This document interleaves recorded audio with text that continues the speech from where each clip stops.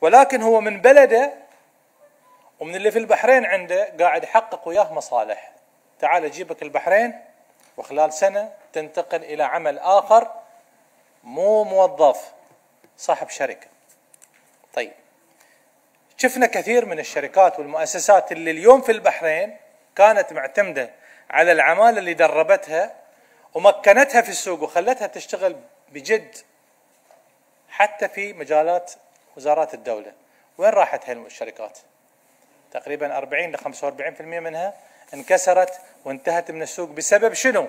بسبب إن المدير أو المدير العام أو الرئيس التنفيذي اللي كان هيئ صاحب العمل وخلاه مدير أو رئيس فتح له شركة بالمقابل ودمر شركة أو دمر الشركة الأساسية اللي كان يعمل فيها. أغلب الأجانب اللي موجودين اليوم في البحرين مع احترامنا للأجانب مثل ما ذكر الأخ سيد فلاح. آه لهم الحق في مرتباتهم في مستحقاتهم في مكافآتهم. لكن لا تجي أنت اليوم كصاحب عمل تهان أمام العامل مالك على أبسط الأمور.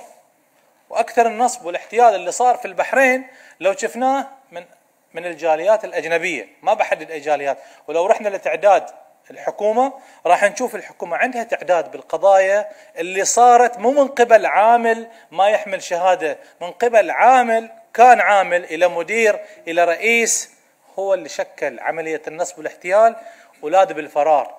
منو اللي يحمل المؤسسة اللي أنشأت هذا الموظف وهيئته إلى مدير؟